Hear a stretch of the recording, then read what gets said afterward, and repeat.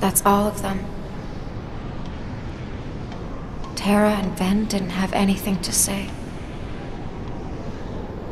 But my shadow, she wanted to destroy me.